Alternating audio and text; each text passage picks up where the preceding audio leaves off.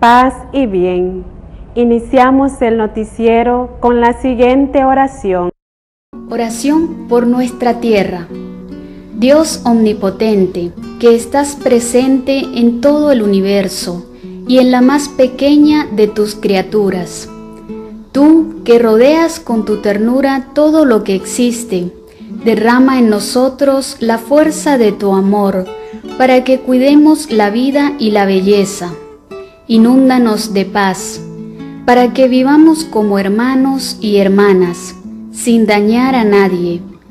Dios de los pobres, ayúdanos a rescatar a los abandonados y olvidados de esta tierra, que tanto valen a tus ojos. Sana nuestras vidas, para que seamos protectores del mundo y no depredadores, para que sembremos hermosura y no contaminación y destrucción. Toca los corazones de los que buscan solo beneficios a costa de los pobres y de la tierra. Enséñanos a descubrir el valor de cada cosa, a contemplar admirados, a reconocer que estamos profundamente unidos con todas las criaturas en nuestro camino hacia tu luz infinita. Gracias porque estás con nosotros todos los días. Aliéntanos, por favor, en nuestra lucha por la justicia, el amor y la paz.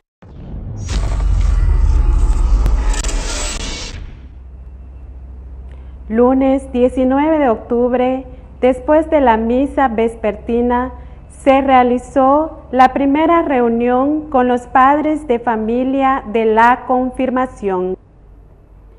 A pesar de los meses anteriores que nos causaron dificultad de comunicarnos y estar cerca de los jóvenes, gracias a la catequesis radial se logró reunir un grupo de casi 30 jóvenes interesados para concluir este año y recibir el sacramento de la iniciación cristiana que es el sacramento de la confirmación.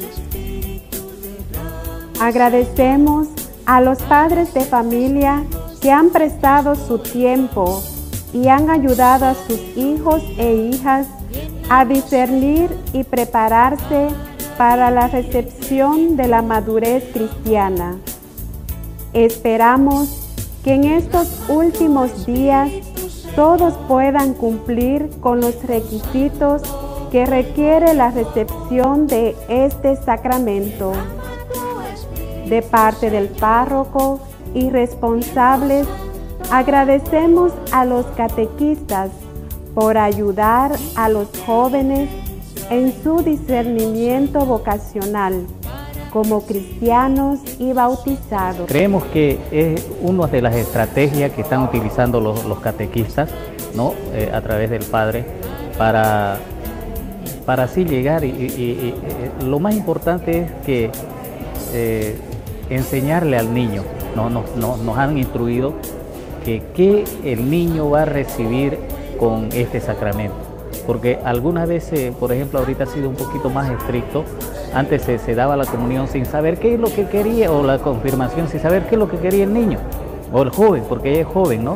Hoy ya se está aplicando esa porque van a haber evaluaciones donde este, se le va a, pedir, a pedir este, los, conocimientos que el, joven va a tener, que, él tiene, para así este, eh, sepa qué es lo que va a recibir. ¿Y para qué? Decía la hermana, para la vida. El padre decía, este, han habido preguntas y, va a ser este, grave la cosa, ¿no? Porque van a, haber evaluaciones tanto del catequista como el padre mismo le va a hacer la evaluación. Entonces, eh, pedirle a los padres de familia y a los jóvenes, porque ya los jóvenes son conscientes, ya están de 15, 17 años algunos, que, que ellos ya tienen uso de razón, que ellos mismos se preparen porque este, prepararse. Tienen los catecismos, tienen los apuntes desde que se, hizo las clases radiales desde julio. Entonces, este, cada catequista ha hecho un cronograma, un cronograma para evaluar, ¿no? Y ver hasta qué punto tiene el conocimiento, ¿no? ¿Por qué no va a ir un, joven a dar su confirmación con Laguna, no? Entonces, este, ha sido buenísima la, reunión. Creo que todos los padres han captado y van a llegar a la casa y le van a inculcar a su, a su, a su hijo, no para, para este, que tengan buenas respuestas. Y este, eso hacía falta, ¿no? que nos hayamos reunido nosotros los padres con los catequistas y escuchar también algunas recomendaciones de parte del párroco, hacía falta. Ya es reconocimiento de todos nosotros por la pandemia, no podíamos juntarnos, pero gracias a Dios parece que ya se está, se está este, yendo la pandemia y como digo, ¿no? hacía falta de que nosotros como padres también, como padres interesados en participar en las reuniones, ha sido muy importante porque este, en vez de el, joven o la joven, eh, nosotros como padres le, exigimos que, que, participen en las reuniones, que, lean lo que este, eh, dice la catequesis. Hay veces que lo hacen, pero después se olvidan y nosotros como padres, como tenemos en veces nuestros quehaceres por ahí, ¿no? y también nos olvidamos de, de exigirle a nuestros hijos. Pero con esta pequeña reunión que hubo, entonces también nosotros como padres, yo al menos, nos vamos a poner las pilas para que estudiemos junto con nuestros hijos.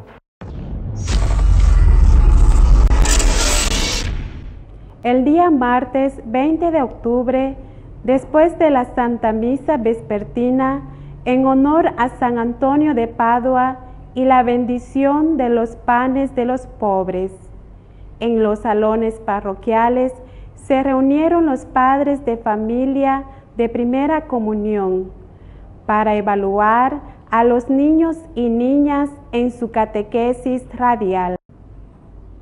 Agradecemos en esta ocasión el apoyo de los padres de familia de los niños, que con entusiasmo siguen su preparación rumbo a la jornada de la primera comunión. A continuación, resaltamos la expresión de los padres y las intervenciones de esta reunión. Es importante esta reunión, ¿no? Porque la verdad a uno le sorprende como madre, ¿no? Que van a dar la primera comunión a nuestros niños, ¿no? recibir la primera comunión, que es, que es un ejemplo, digamos, para nosotros, tanto como para los niños y tanto como para la madre, ¿no? Y muy importante tuvo esta reunión, me alegró de venir a escuchar lo que a veces uno no, no escucha, de que debo poner también de mi parte para que también mi niña ponga de su parte, porque hay veces que no ponemos nuestra parte, tampoco los niños nos dan de su parte, así que con esta reunión tenemos que dar nuestra parte tanto como madre como para nuestros hijos. La verdad pues también es una alegría de que nuestros niños den su primera comunión, ¿no? Es una bendición también para nosotros en nuestro hogar porque muchos padres a veces, por ejemplo, ahorita esta reunión, muchos padres no han venido a la reunión de sus niños. Como dice el padre, no dice los catequistas, debe ser que no le toman importancia a esta reunión. Y es verdad que a veces muchos padres no le tomamos la atención a nuestros niños. Saber todo lo que, cómo está, cómo están nuestros hijos en, nuestra, en sus evaluaciones. Y también, ¿no? Para saber cuándo ellos van a dar la primera comunión, a pesar ¿no? de, toda esta enfermedad que vino, pues este, hubo un poco de retraso, ¿no? Pero a pesar de, todo hay que dar gracias a Dios porque si no fuera por Él igual no, tendríamos una buena salud hoy en día, ¿no? Y agradecer al Padre y a todos los catequistas que ellos se han esforzado, ¿no? Por, por pasar las catequesis ya radiales y así también presenciales. La mayor parte de los padres de familia no se han dedicado o no hemos dedicado a ser catequistas en casa, como dijo este, una de las catequistas, ¿no? Este, nosotros somos, somos los catequistas y las, las catequesis fueron familiar, especialmente ¿no? para, para el bien de nuestros niños, que son los que se merecen este, recibir una buena comunión de aquí en adelante. Sí, estamos haciendo una breve evaluación con los catequizando, eh, preguntando sobre las oraciones del cristiano, cuando el padre nos convoca a los catequistas a presentarlo a los niños. Yo pediría a todos los padres que nos ayuden, como ellos pasan más tiempo con sus niños, yo les pediría que en las noches por lo menos se sienten con los niños a practicar eh, las oraciones que son lo más importante a lo que ellos están preparando. La Escuela de Música Paz y Bien recibió la visita de las autoridades políticas. La doctora Jordana Midax Sevilla, el subgobernador Juan Carlos Toledo y la señora Baby Cabrera, con fines de interiorizarse con el trabajo realizado en la Escuela de Música. A continuación, la nota de este encuentro.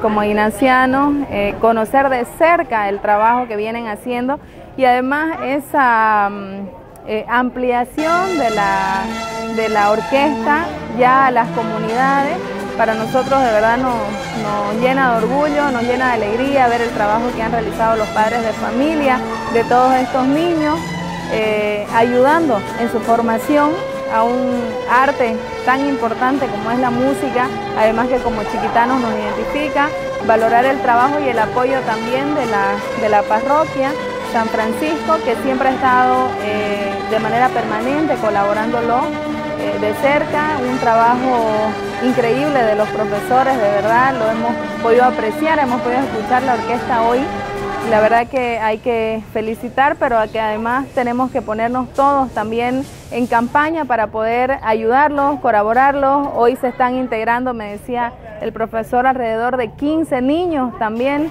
en las comunidades y también hay que darle los instrumentos para que ellos puedan aprender y esta orquesta pueda seguir creciendo.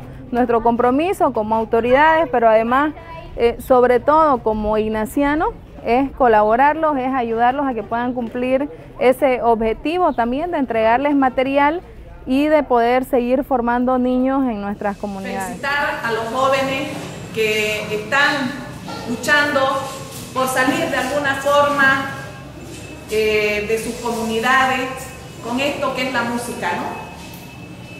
Felicitar a los papás, sabemos de que es muy duro, peor ahora en esta crisis económica en la que nos nos está tocando vivir, el apoyo que le dan a sus hijos es muy importante, ¿no? Eh, los tienen alejados a los jóvenes de lo que es las drogas, las pandillas, y eso es digno de admirar. Padre, como inaciana, agradecida enormemente con usted al llevar esto adelante, sabemos que hace un esfuerzo bastante inmenso, al profesor y Dios quiera pues no lamentar después en un futuro que los de Guarayo ya no van a venir acá, que vamos a tener aquí los profesores, ¿no? Entonces, que van a quitar ese trabajito porque eso es lo que esperamos.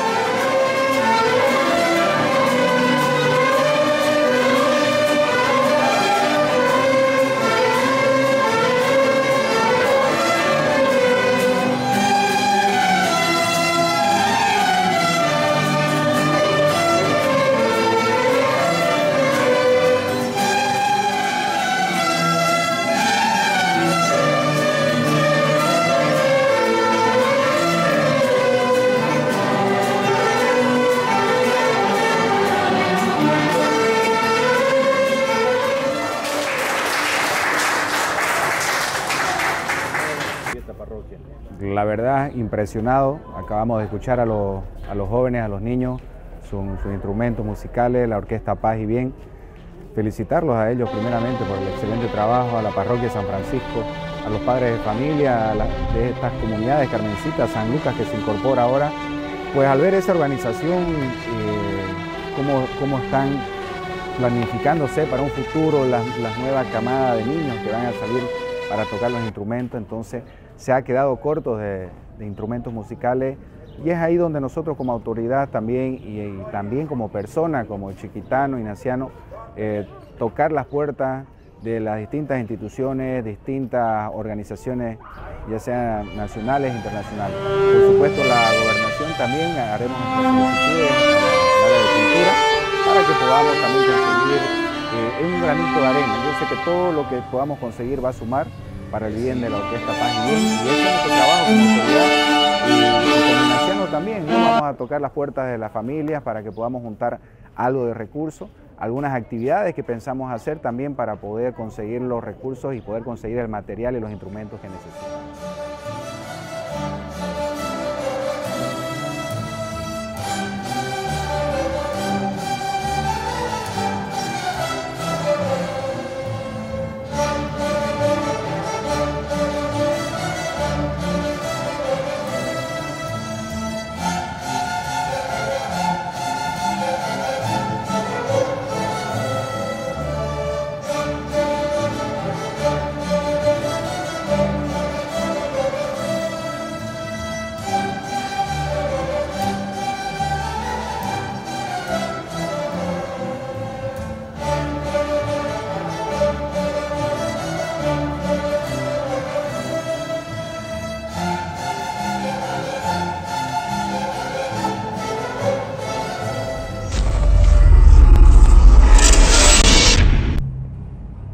Le presentamos la cuarta parte del documento Fratelli Tutti con el título Reconocimiento recíproco.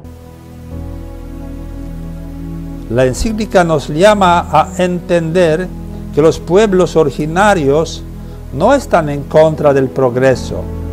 Si bien tienen una idea de progreso diferente, muchas veces más humanista que la de la cultura moderna de los desarrollados.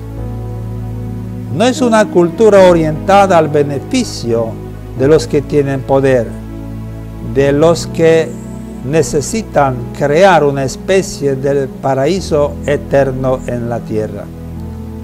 El texto denuncia que la intolerancia y el desprecio entre las culturas populares indígenas es una verdadera forma de violencia, llamando a respetar la diversidad, ofreciéndole caminos de promoción y de integración social.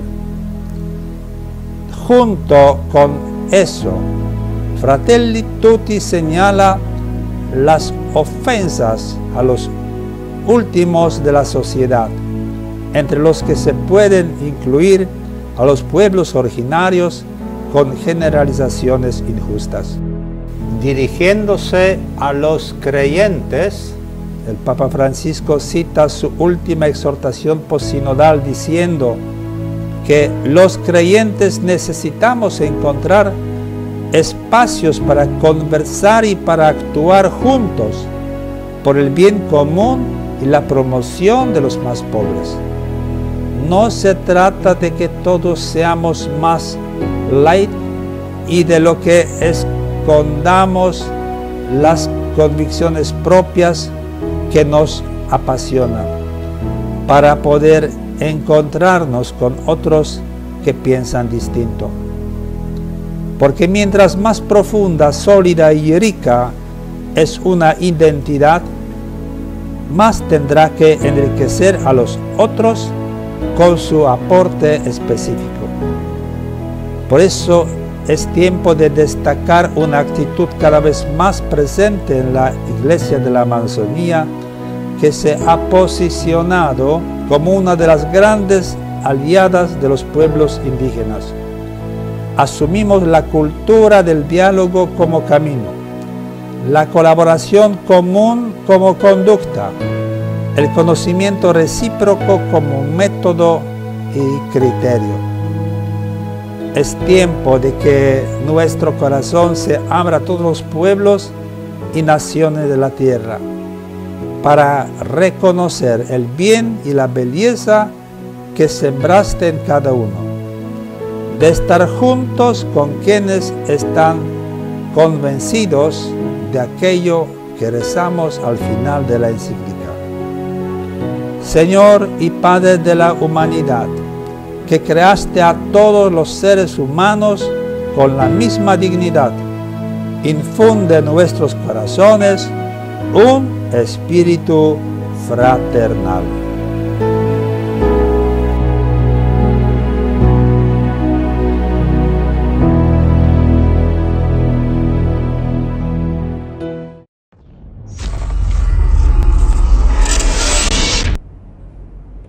Mes de septiembre nos comprometió con el cuidado y la defensa del medio ambiente. En muchas comunidades del campo, los hermanos líderes han plantado un mojón ecológico en sus comunidades para recordar este año en que el Papa Francisco invita a celebrar el tiempo de la creación con el deseo de asumir el compromiso de cuidar su tierra y su territorio. En la parroquia San Francisco se prepara un símbolo de esta preocupación mundial y local y en breve se plantará un mojón ecológico como expresión externa de que vamos a trabajar por nuestra naturaleza y el mundo creado por Dios, que nos ha puesto no solo para aprovecharnos de sus recursos, pero también nos ha comprometido a asegurar su duración a las generaciones venideras. Este trabajito que estamos haciendo, no, este, de el día que lo sacamos, muy costoso. ¿eh? La traída acá, miren, es un palango, es para un mojón aquí en la, de aquí de la parroquia San Francisco, ¿no? De Carmencita lo hemos traído. Y estamos haciendo pues nuestros primeros pasos en tallar el, el palo, ¿no? Que es para un mojón que dice la gato sí y el tiempo de la creación y algunas fechas más. El mojón, ¿no? Este, en arriba, en, la cabeza del mojón, está la naturaleza, este, San Francisco que, que este, él incentiva siempre estar este, cuidar la naturaleza ¿no? de todo el mundo, no solamente de aquí de Bolivia. Para eso está el mojón, eso, eso es el significado que tiene. Este, es una cosa lamentable, ¿no? Porque, mire, en estos momentos ya, en estos tiempos ya, pucha, se está acabando la naturaleza, pues, ¿no? Y usted sabe que la madera, donde sea, están trayéndola y de poco en poco se va acabando y ya no, un día no vamos a tener nada.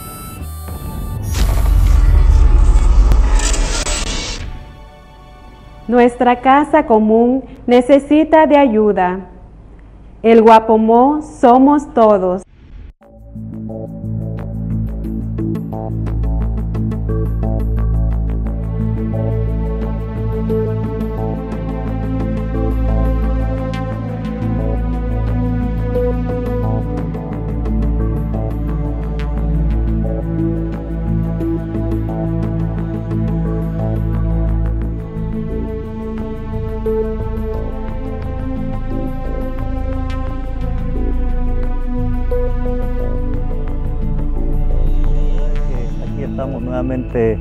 Eh, con el trabajo de limpieza de nuestra represa El Guapomó. Estamos sacando toda la sedimentación que habíamos acumulado, ¿no? todo lo que la máquina, el tractor DC10 o DC6 había amontonado, entonces hoy estamos con tres volquetas y una pala cargadora. Esto nos, significa casi mil dólares por día y bueno, vamos a continuar eh, buscando la ayuda económica de nuestra población para que abarquemos más, más espacio, ¿no? para que saquemos todo esto que tenemos amontonado, porque eh, ya vienen las lluvias, queremos que esto se mantenga limpio. Entonces yo pido a la población que continúe apoyándonos. Es un trabajo que nuestros compueblanos están haciendo realidad gracias al aporte económico que nos están dando. Por eso decía de que todo esto nos significa cerca de mil dólares el pago de estas máquinas. ¿no? Eh, la verdad que estoy contento, estoy contento porque nuestra ciudadanía está respondiendo, está mostrando su confianza en el trabajo que estamos haciendo, ayudándole a nuestra municipalidad para mantener limpia nuestra represa de Guapomó. He recibido recién eh, el día viernes la ayuda de Monseñor Carlos Stetter con 10 eh, horas máquina, ¿no?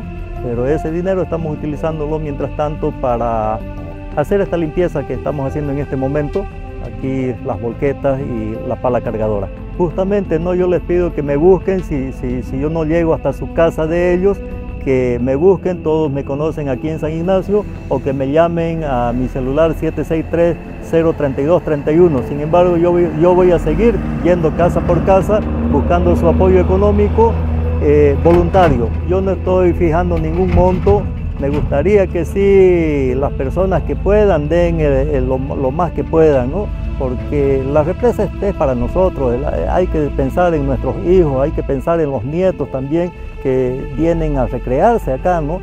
Una vez esté limpia, eh, yo tengo fe en Dios de que va a empezar a, llover y todo esto que vemos ahorita lleno de arena va a empezar a blanquear pero de agua. Vivimos acá en San Ignacio de Velasco, ¿no? Para que nuestra represa quede limpia, que salga todos los juncos que tiene, ¿no? Y, que hay todavía bastante por sacar, ¿no? Aquí en, en la represa. Y ahora pues una tristeza ver, ¿no? Que está está bien seca, ¿no? Y, y que siga la población apoyando, ¿no? Con su granito de arena que, para que quede más limpia nuestra represa.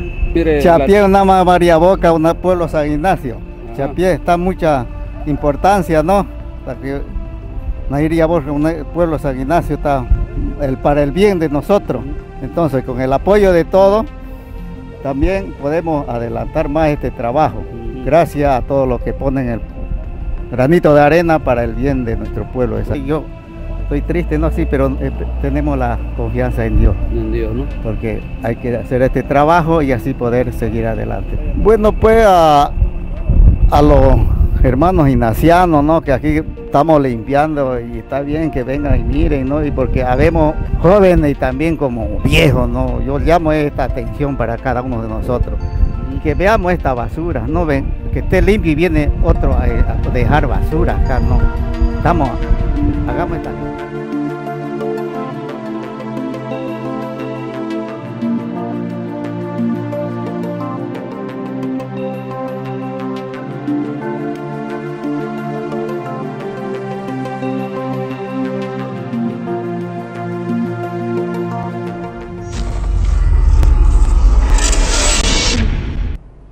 Muchas gracias por su atención.